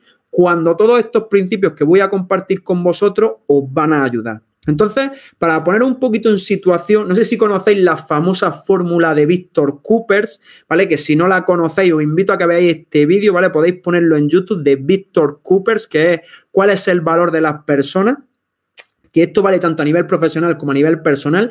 Y esta fórmula lo que viene a decir es que tu valor como persona o como profesional viene determinado por la cantidad de conocimientos que tienes y la cantidad de habilidades, es decir, esos dos factores suman tus conocimientos y tus habilidades, pero tu actitud, tu forma de ser, tu forma de afrontar los problemas, tu forma de afrontar las situaciones multiplica. ¿Por qué? Porque los conocimientos y las habilidades se pueden adquirir, pero la actitud, aunque se puede adquirir, es muy complicado porque a las personas nos cuesta mucho luchar en contra de nuestro cerebro en contra de nuestras creencias, ¿vale? Entonces, quiero que veas cómo a lo largo de la presentación lo que hemos hecho, te he dado o te he explicado qué tipo de conocimientos deberías de utilizar a la hora de lanzar tu producto. Hemos hablado de cuáles son las habilidades que necesitas como emprendedor, que hemos dicho que son ventas, finanzas, eh, publicidad, marketing, gestión, productividad. Y ahora vamos a hablar de siete principios para trabajar tu actitud como emprendedor, ¿vale? ¿Cuál debería de ser la actitud que tú deberías de, de tener?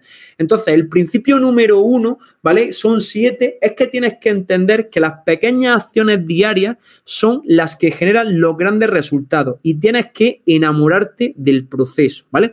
¿Y qué quiero decir con esto? Que nosotros como emprendedores siempre tenemos grandes ideas, tenemos grandes ilusiones, tenemos como, nos montamos el negocio incluso antes de tenerlo hecho, pero luego nos cuesta mantener el foco y lo que, y lo que perdemos de vista es que lo que te va a llevar al objetivo a largo plazo son las acciones que estás realizando hoy. Es decir, lo que marca la verdadera diferencia no es que un día trabajes 15 horas, es que todos los días des un paso en la dirección adecuada, que todos los días des un paso hacia tu objetivo, ¿vale? De hecho, como ves aquí, si todos los días te hicieras un 1% mejor, fíjate que conseguiría un crecimiento tanto personal como profesional exponencial. Es decir, si tú todos los días te haces un 1% mejor, lo que consigues a lo largo de un año es tremendo. Pues bien, lo mismo pasa con el negocio. Si tú todos los días vas avanzando o vas trabajando en algún aspecto que va a permitir que el negocio avance,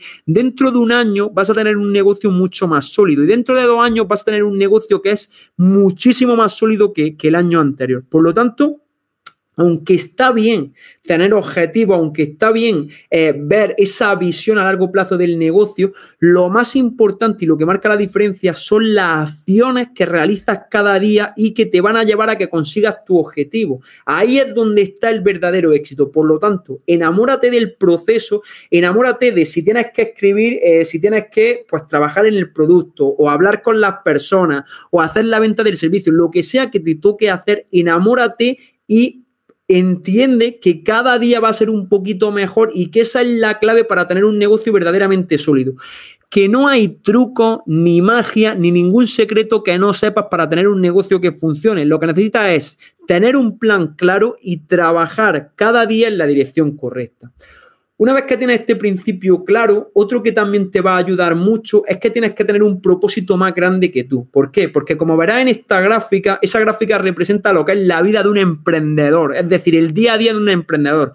Te levantas por la mañana, estás mega, eh, mega ilusionado, te pones a trabajar en tu proyecto y de repente dices, ¡buah, esto es súper difícil!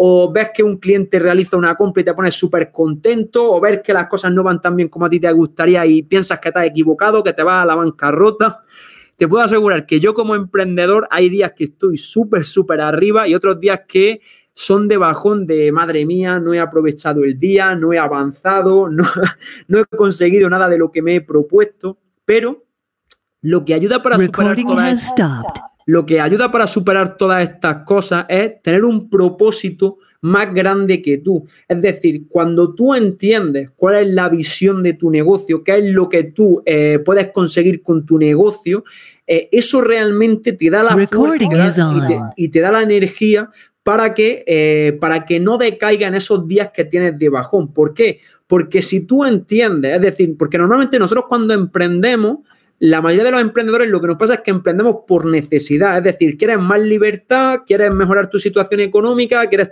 tomar tus propias decisiones, pero eso no es suficiente. Necesitas algo más grande que tú para eh, mantenerte motivado. Y la suerte que tenéis es que os encontréis en un sector que además de que económicamente sea rentable, eh, podéis eh, podéis conseguir que el mundo sea mejor, podéis conseguir que la situación que estamos viviendo ahora cambie, ¿vale? Y cuando tienes ese propósito, esa visión, te puedo asegurar que es mucho más inspirador para levantarte cada mañana y para ponerte a trabajar sobre tu proyecto. Así que ten un propósito más grande que tú. El tercer principio, y esto es algo que a las personas nos cuesta mucho aceptar porque desde pequeños nos han invitado a que no nos equivoquemos, es que no existen los errores, solo los aprendizajes, ¿vale? Yo trabajo con muchos profesionales y tienen un miedo enorme, no hacéis una idea, a equivocarse. Es como no quiero sacar una idea y que la gente diga que no, no quiero publicar este contenido o hacer esta acción y que la gente me rechace. Y es como, hay un libro muy bueno que se llama Ego is the Enemy, ¿vale? Eh, o el ego es el enemigo, que eh, lo que viene a comentar básicamente es cómo muchas veces tu miedo a equivocarte hace que tú no puedas avanzar. Si tú en lugar de ver los errores como algo negativo, los ves como una oportunidad para aprender, eso hace que tu zona de confort se expanda y que cada día vayas descubriendo nuevas formas de cómo no se hacen las cosas. Y para mí un error es simplemente una nueva forma de cómo no hay que hacer las cosas. Vale, ya sé que de esta forma no consigo resultados. Vale, voy a probar otra. Pero no tienes que preocuparte por equivocarte. Equivocarte es bueno porque significa que has salido de la zona de confort, has probado algo nuevo y eso te ha permitido aprender. Y no hay nada más valioso en este mundo que el aprendizaje. Por lo tanto, no tengas miedo a los errores, equivócate y piensa que es una forma de aprender y que eso te va a ayudar a ser mejor cada día. El cuarto principio, que también es súper importante en el mundo del emprendimiento, es que que algo sea difícil no es un problema, es una oportunidad. ¿Por qué? Porque cuanto más cueste hacer una tarea, cuanto más te cueste sacar un determinado proyecto o cuanto más haya que trabajar para, eh, para materializar una idea, quiere decir que va a haber muchas menos personas dispuestas a hacerlo. Es decir, si tú eres capaz de recorrer ese camino, va a haber muchas personas, eh, si tú eres capaz de recorrer ese camino y de avanzar a pesar de que sea difícil, va a haber muchas personas y muchas empresas que se queden por el camino. Y eso es súper positivo, porque cuanto más difícil sea hacer eso, menos personas van a querer hacerlo. Y esa es una de tus mejores ventajas competitivas, ¿vale? Eh, pongo el ejemplo mucho de la situación que hemos vivido con el, con el COVID-19, ¿vale? Cómo, hay personas que lo han visto como un problema, como, Buah, ¿cómo voy a cambiar ahora mi modelo de negocio? ¿Cómo voy a hacer esto? ¿Cómo eh, ahora esto es la, situación en la que me puedo encontrar? No. O sea, esto son, es una situación diferente y tú lo que tienes que ver es de qué forma puedes reinventarte, de qué forma puedes ayudar a las personas y de qué forma puedes aportarle valor al mundo. Y si haces eso, como han hecho muchas empresas, pues este, esta situación en la que no hemos encontrado, en lugar de ser algo negativo, ha sido algo súper positivo para ellos porque han encontrado nuevas formas de negocio, nuevas vías para reinventarse, nuevas formas de contactar con sus clientes y eso es algo que no tiene precio. Por lo tanto, que algo sea difícil no es un problema, es una oportunidad. Y si tú vas por la vida viendo oportunidades, te puedo asegurar que te va a ir mucho mejor y va a ser mucho más fácil para ti hacer las cosas. El quinto principio y este también eh, te va a ayudar en los momentos en los que no veas resultados, es que si haces durante el suficiente tiempo lo que sea necesario, podrás hacer durante mucho tiempo lo que quieras. Y este ejemplo me encanta personalmente. Es decir, si tú quieres tener más libertad económica, tener una empresa que funcione, tomar tus propias decisiones, no tener que aguantar a un jefe. Es decir, si tú quieres esto, vas a tener que hacer algo que muchas personas no están dispuestas a hacer, como por ejemplo, pues quedarte en casa trabajando en tu negocio, eh, tomarte días en los que hay un montón de amigos que se están divirtiendo y tú tienes que seguir trabajando en tu idea, vas a tener que tomar decisiones complicadas y te lo puedo asegurar porque yo mismo la he tomado, pero eso te va a permitir que cuando pase el tiempo vas a poder tener la libertad que otras personas no tienen, vas a poder trabajar en tus proyectos, vas a poder levantarte cuando te dé la gana, vas a poder hacer algo que realmente te ilusione. Y eso no tiene precio, ¿vale? Aquí hay otra frase a mí también que me gusta mucho de Steve Jobs, que viene a decir que si tú no trabajas en tus sueños, alguien te pagará para que trabajes en los suyos. Y yo personalmente prefiero trabajar en los míos, aunque me cueste más, aunque me lleve más tiempo, ¿de acuerdo? Y aunque eso suponga sacrificarme, porque sé que el sacrificio que estoy haciendo ahora luego va a repercutirme de manera positiva en mi vida, ¿vale? Así que esto también es súper importante para esos días en los que no veis resultados, es que las cosas no están saliendo como vosotros queréis, o sea, es simplemente una prueba más, tienes que mantenerte en el camino y seguir haciendo o continuar con el plan que te has diseñado. El penúltimo, ¿vale? Y ya solo nos queda uno, es que tu éxito depende un 1% de la idea que tienes y un 99% de cómo la ejecutas. Porque tenemos que entender una cosa, los emprendedores somos tremendos teniendo ideas, pero luego a la hora de llevarlo a cabo ya nos cuesta más. Y la clave para que un negocio funcione, la clave para que una idea tenga éxito es que la ejecutes.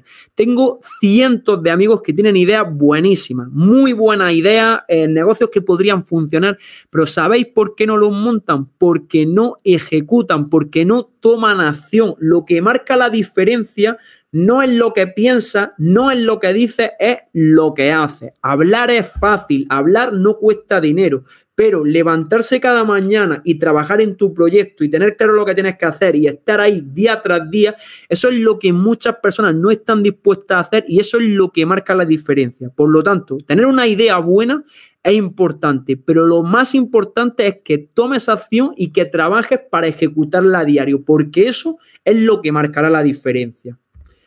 Y lo último, que para mí es el más importante y personalmente es algo que eh, tanto a nivel personal como profesional me ha cambiado la vida, es entender que tú eres el único responsable de, de tu éxito y que por lo tanto tienes que actuar en consecuencia. ¿Qué quiere, ¿Qué quiere, decir esto? Hay muchas personas, ¿vale? Y espero que, eh, pues bueno, ninguno de los que estéis aquí seáis así, que siempre están como, es que mis circunstancias, es que la situación en la que me encuentro, es que la vida, es que el gobierno, es que mi amigo, es que mi familia, lo sé. O sea, nadie tiene las circunstancias perfectas, ni tú, ni yo, ni ninguno de los que estamos aquí. Pero tenemos las circunstancias que tenemos y tenemos que trabajar con ellas. Y lo que tienes en la vida, te guste o no, y te lo digo de verdad, es consecuencia de las decisiones y las acciones que has tomado. Y eso es perfecto, porque en el momento que tú entiendes que la situación que tienes ahora mismo, te guste o no te guste, viene determinada por las acciones y por las decisiones que has tomado en el pasado, eso quiere decir que tienes el poder de cambiar tu situación, es decir, tienes el poder de comenzar a tomar otro tipo de decisiones, comenzar a tomar otro tipo de acciones y cambiar tu situación. Pero ten eso siempre presente. Lo que tienes en tu vida solo es un reflejo de las acciones y las decisiones que has tomado. Por lo tanto, si quieres que cambie algo, el primero que tiene que cambiar eres tú. Por lo tanto, recuerda, tú eres el único responsable de tu éxito, así que actúa en consecuencia. Y con esto lo tenemos listo. Ahora me voy a abrir la cámara y me podéis preguntar lo que queráis y yo estaré encantado de ayudaros al máximo con lo que sea.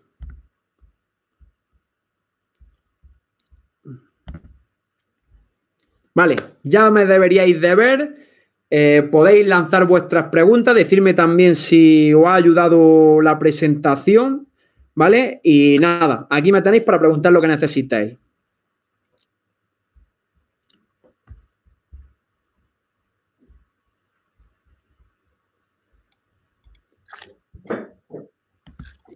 Bueno, eh, Evaristo, muchas gracias por tu presentación, sin duda muy instructiva y muy eh, interesante. Y eh, bueno, se animan los participantes a preguntar qué es lo que deben preguntar y no, y no, y no yo. Pero bueno, para, para romper el hielo, te voy a hacer una, una pregunta que, bueno, sobre como toda esta ponencia iba, hombre, por supuesto todos los temas de emprendimiento, ¿no?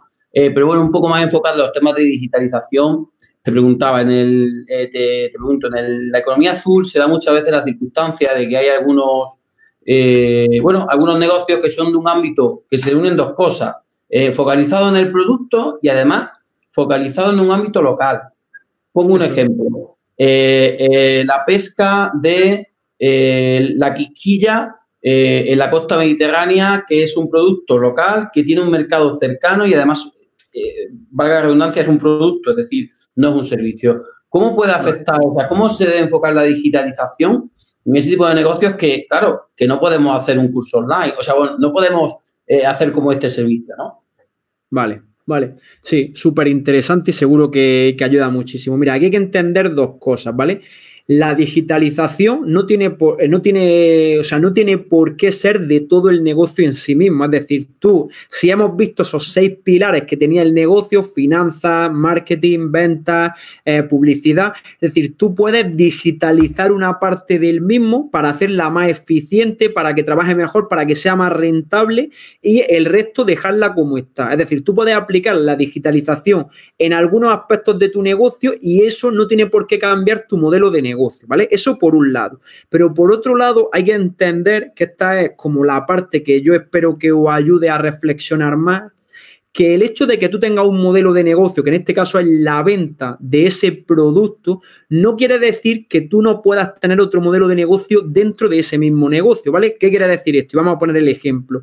Es decir, tú cuando ofreces esto, es decir, cuando tú vas y pescas, por ejemplo, la quisquilla, tú tienes un know-how que hay muchas personas que podrían querer aprender o que, o que estarían interesadas en ello. Por lo tanto, otra vía de tu negocio podría ser enseñar a profesionales cómo realizar la pesca de este producto, cómo realizar la pesca de eh, este animal, ¿de acuerdo? Entonces, esa podría ser. Yo sé que ahora mismo esto os parece una locura, ¿vale? Pero a ver cómo, o sea, hay personas que eh, tienen, por ejemplo, cursos de cómo enseñar a otras personas a ser educadores de perros, ¿de acuerdo? Pues mira, o sea, aparte de él serlo, ha enseñado a otras personas a cómo serlo, ¿vale? Pues entonces una vía de tu negocio podría ser enseñar esto. Otra vía podría ser que tú ayudase a empresas que están empezando en este negocio a hacerlo de la forma correcta o podría ser que a nivel interno eh, es decir, que los sistemas que tiene esta empresa, pues cómo opera, cómo realizan los cargamentos, eh, cómo llevan el registro de las cantidades, cómo venden, es decir, todo ese know-how que tú tienes, ¿de acuerdo? Que, lo venda, que se lo venda a otras empresas. Es decir, el hecho de que tú estés en un sector y que estés en un negocio no quiere decir que dentro del mismo no puedas tener diferentes tipos de negocios, ¿vale? Entonces, la digitalización la podríamos aplicar a partes del negocio y la podríamos aplicar también para crear otros modelos de negocio dentro del mismo. Como dice Nazaret, podría ser formador de formadores o podría formar, ¿vale? A personas que quieran aprender eso. ¿Por qué? Porque tenemos que entender que la digitalización, la posibilidad que nos da es llegar a muchas personas del mundo de una forma sencilla. Entonces, aunque tu nicho sea muy pequeño, si hay personas en el mundo que lo quieren, va a ser muy sencillo para, ti llegar, ¿vale? Así que hay una oportunidad tremenda que se podría eh, aprovechar. ¿Vale? Eso por un lado. Y venga, sigo con las preguntas que comenta María Isabel. ¿Significa hacer roles de mentoring con otras personas? Diversificar las líneas de actuación. Entonces, eh, efectivamente, ¿vale? Dentro del negocio, tú podrías crear otros productos, otros servicios que estén focalizados en otro público objetivo. Por ejemplo, si uno, uno, de tus públicos va a ser, por ejemplo, estos restaurantes, estas pescaderías a las que tú les vendes este pescado, pero otro público puede ser personas que eh, estén en una situación laboral, que quieran cambiar de trabajo y quieran aprender ese oficio, pues tú podrías enseñarla o eh, empresas que estén haciendo esto pero que no lo hacen tan bien como tú, tú podrías enseñarles, podrías crear un servicio de ir a enseñar a estas empresas. ¿vale? De hecho, por ejemplo, yo es lo que hago, es decir, yo cuando era entrenador personal eh, tenía, aprendí una serie de cosas en las diferentes empresas en las que yo estaba y ahora lo que hago es eh, rentabilizar ese conocimiento que tengo enseñándoselo a otras empresas. ¿Vale? ¿Qué más preguntas? Que seguro que tenéis ahí cositas interesantes. Y decirme si ha ayudado, chicos, decidme si se ha quedado claro, si veis cómo lo podéis aplicar en vuestros negocios. Al final esto es para vosotros, ¿vale? O sea, la idea ha sido transmitiros, pues, cómo podéis aplicar este concepto del, del Lean Startup, ¿vale? Una serie de principios que os van a ayudar con vuestra mentalidad emprendedora y sobre todo el conocimiento que tenéis que tener de diferentes áreas del negocio para que eso os permita no abrir un negocio a ciegas, que eso es lo peor que hay. Chicos, aprovechen esta oportunidad que no siempre se tiene. Eso es, o sea, Marisa, es, decir, el hecho de poder empezar con un prototipo inicial es eh, súper, o sea, no, no es como, es súper importante, pero por el hecho de que te va a permitir no invertir ni mucho tiempo ni mucho dinero antes de saber si lo que tú estás creando lo quiere el mercado, que al final es lo importante y si vas a tener clientes. Entonces, esto es como lo primero que te tienes que plantear. Mi idea de proyecto relacionado con la costura, además de realizar los trabajos en sí, se podría también hacer clases y demás. De hecho, hay ya gente que enseña a otras personas a hacer costura y vende sus cursos a nivel online. O sea, si te metes, seguro que hay personas que ya lo están haciendo, así que tú también podrías hacerlo y tendrías que tener una propuesta única de valor diferente, pero ese negocio ya existe. Te digo porque lo conozco, o sea, sé seguro que existe. A nivel de números, ¿cuánto consideras que económicamente tienes que invertir para promocionar y vender ese producto eh, mínimo viable? ¿Vale? ¿Y qué acciones? Pon un ejemplo de tu producto, Sergio, y, te digo lo que sería lo mínimo, porque a nivel de inversión, ¿vale? Tú tienes que tener en cuenta también, hay una serie de conceptos a nivel de negocio, como son el, el lifetime customer value, es decir, cuánto vale un cliente en tu negocio, cuál es el valor de vida medio de, cuál es el valor de este cliente, cuál es el ticket medio de compra, cuál es tu margen de beneficio. Entonces, en base a eso, tú ya puedes decidir cuánto invierte, eh, cuánto invierte en publicidad o en marketing, ¿vale? Para, para vender.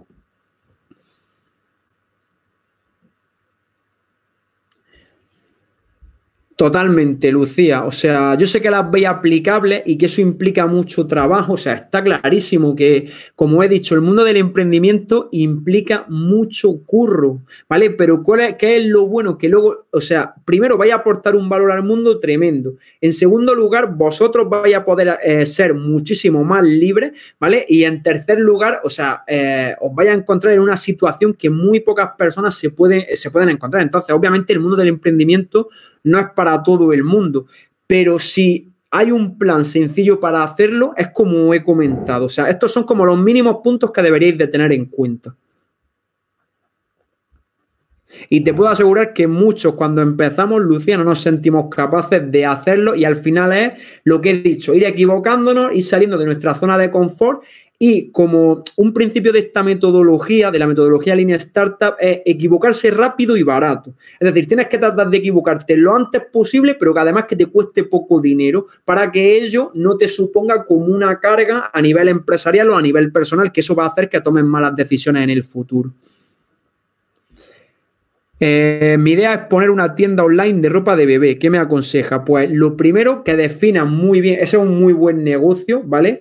Eh, que definan muy bien, en este caso, quién es tu público, que yo creo que está claro, estas madres, ¿vale? O sea, o estas mujeres que van a ser eh, madres y sobre todo que trates de captar a, a los clientes incluso antes de que sean clientes. Es decir, nosotros, por ejemplo, a nivel online, una de las estrategias que utilizamos es generar contenido que a estas madres les resulte muy útil para luego venderle tus productos o tus servicios. Por ejemplo, si sabes que estas madres se preocupan por qué es lo que tienes que hacer durante el embarazo, qué tipo de productos deberías tener eh, cuando tu bebé nazca, cómo puedes estar preparada para ese momento, eh, todo lo que deberías de tener en cuenta antes de tener a tu bebé. Es decir, si tú pones información de valor gratuita en tu sitio web, cuando las personas lleguen y se informen luego a quién le van a comprar los productos, a ti. Esto es lo que se llama el marketing del permiso, o sea, podría estar hablando de esto varias horas, pero el concepto básicamente es tú eh, generas contenido información de valor para estas personas que actúe como un cebo, como un anzuelo para el público al que tú estás tratando de atraer y una vez que los tienes ahí, ya puedes poner, empezar a venderles tus productos, tus servicios porque ya confían en ti, ¿vale? Pero nunca intentes vender como de golpe, no esperes que las personas lleguen a tu sitio web, sino que tú creas formas activas de atraerlas hacia, hacia tu negocio.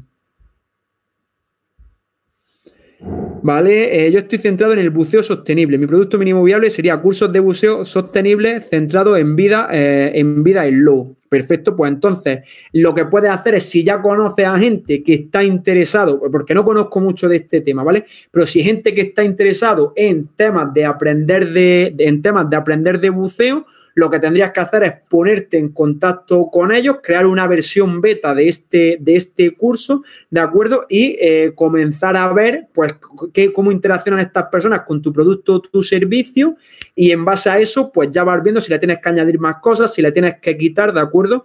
Eh, vas viendo cómo modificar en este caso el, servicio. Y podría aplicar una estrategia parecida a la que hemos comentado con, con Lucía, ¿no? ¿Era con Lucía o era con...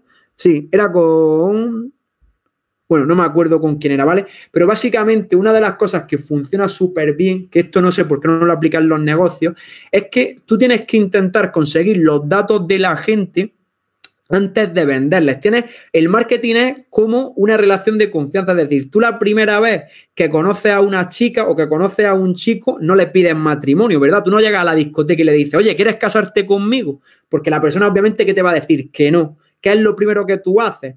Oye, eh, ¿te importa que te invite a un café? ¿Te importa que te invite a una copa? No, le invita a una copa, luego le invita, eh, luego intercambiáis teléfonos, vais chateando y se va generando esta relación. Pues bueno, es curioso cómo los negocios intentan hacer lo mismo con las personas. Intenta que una persona que no los conoce de nada automáticamente les compre. Y la venta, el problema de la venta no es el precio, es la confianza. Si tú consigues que la persona confíe en ti, antes de que tú le pidas la venta, si tú consigues que la persona confíe en ti antes de que le pidas matrimonio, tú sabes que te va a decir que sí, ¿vale? Sobre todo si el proceso de enamoramiento lo ha hecho bien. Entonces, una estrategia que funciona muy bien, Sergio, es que crees información de valor que le resulte útil a tu público objetivo y que con esa información los vayas enamorando, les vayas aportando contenido que les resulte súper útil y que vayas captando sus datos, ¿vale? Esto se utiliza una herramienta que se llama una landing page, tú le envías algún tipo de contenido a través de ella y luego una vez que tienes sus datos ya le ofreces la oportunidad de, oye, eh, si quieres profundizar más en este tema sobre el buceo, tengo un curso y ya las personas están mucho más abiertas a recibir tu oferta, ¿vale? Esto podría estar hablando como eternamente, pero creo que el mensaje se queda claro. Ofrece un contenido gratuito, consigue los contactos de la persona y luego le ofreces la posibilidad de trabajar contigo. Eh, vale, ayudaría mucho el marketing en redes sociales, pero esa tarea es un pozo sin fondo eh, de tiempo a invertir.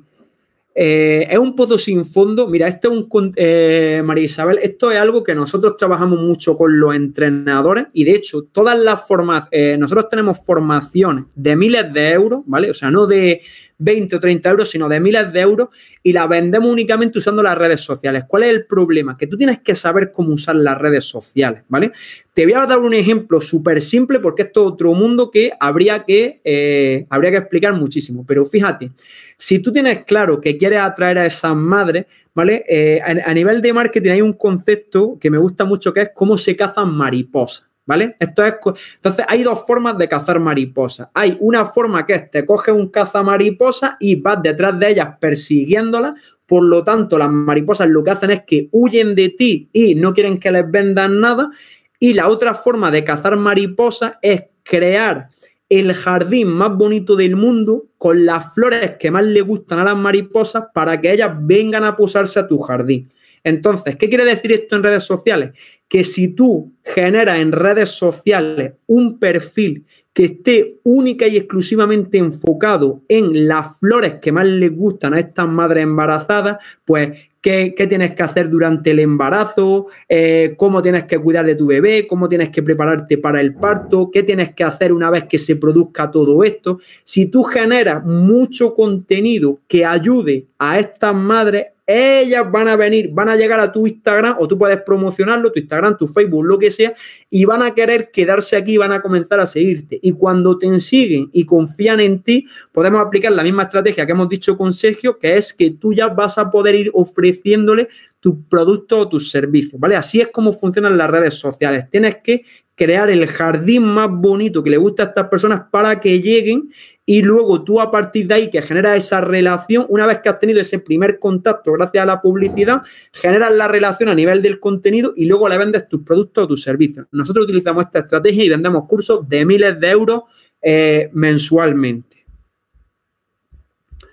¿Vale? Decidme si la habéis entendido. Ayudaría mucho el marketing. Es verdad esa manera de verlo eh, no hubiera caído, lo sé. O sea, esto es como algo que cuando lo comento parece obvio, pero luego a la hora de aplicarlo cuesta. ¿Qué opinas de las campañas de crowdfunding para eh, vender el producto o servicio antes de tenerlo? Esa idea es precisamente lo que he comentado. Mira, para que hagáis una idea, eh, nosotros hemos, hemos ofrecido cursos de formación que no los teníamos hechos, solo hemos ofrecido la idea, oye, voy a vender, tengo un curso que te va a ayudar a ir desde aquí que eres un entrenador que no está contento con su negocio, que no capta suficientes clientes, que no, lo que sea, al punto B en el que vas a tener un negocio de cine, vas a estar súper contento y todo te va a ir genial.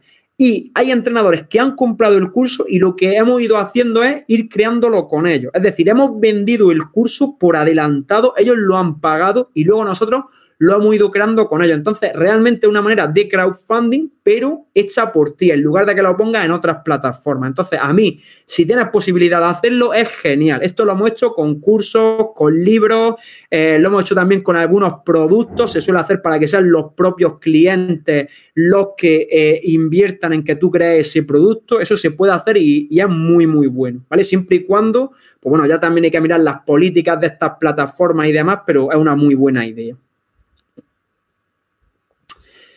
Chicos, ¿alguna pregunta más? Oportunidad de última pregunta.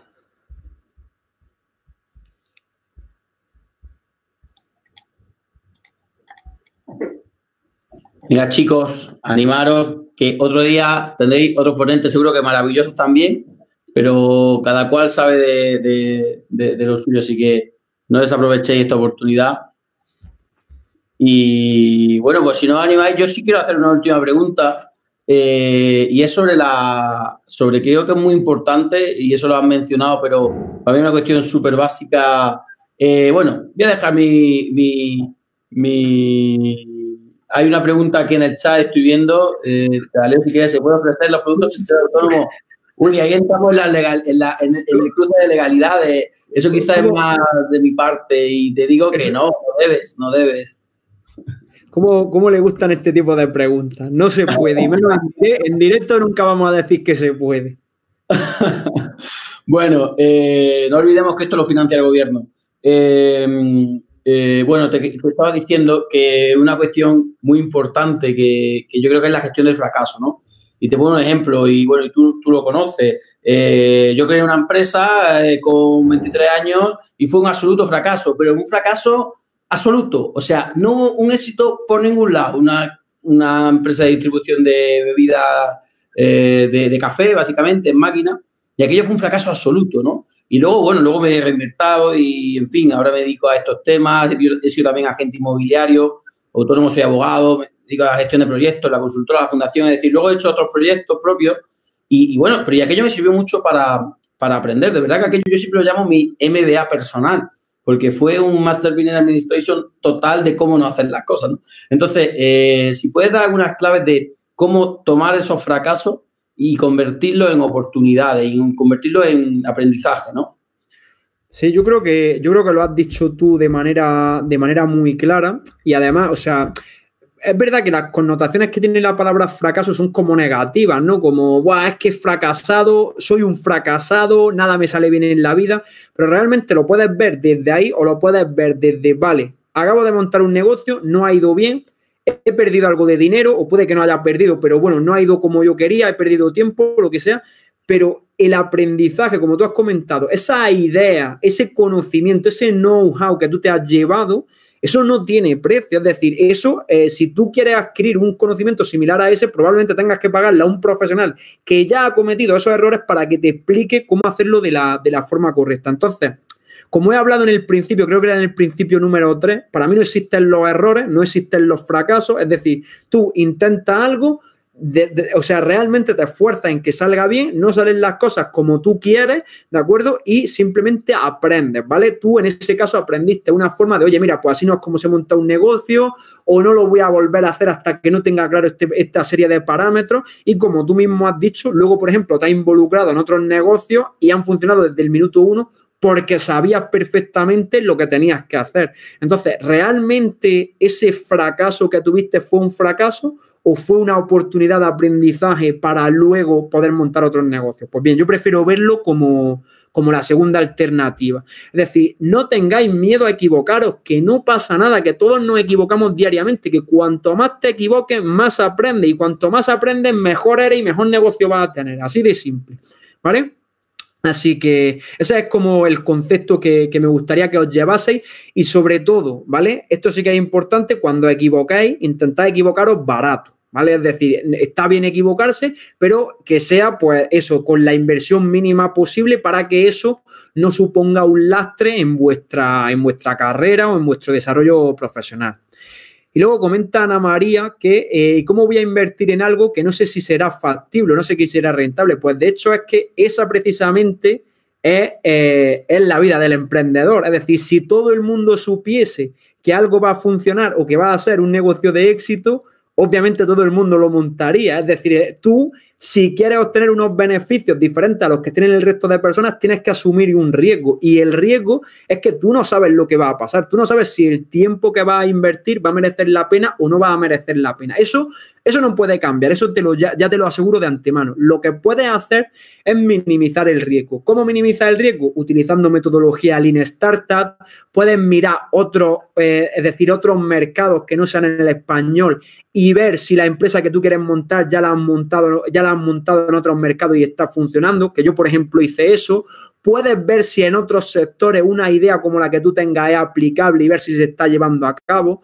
Es decir, hay muchas formas de minimizar el riesgo, pero el riesgo ese no te lo quita nadie, porque si algo fuese seguro, entonces obviamente lo haría todo el mundo. Es decir, si yo sé seguro que en vez de ganar mil euros al mes puedo ganar diez mil o puedo tener una empresa que va a funcionar súper bien y va a ayudar a, a muchas personas, pues yo directamente lo voy a hacer, pero es que eso no es seguro, ¿vale? Entonces tú tienes que confiar en tu idea, confiar en tu pasión, en aquello que hace que te, en aquello que te inspira y trabajar, trabajar y trabajar para, para conseguirlo, pero nunca se elimina el riesgo totalmente. Porque si no, eso además es que perdería la chispa esto de, del emprendimiento.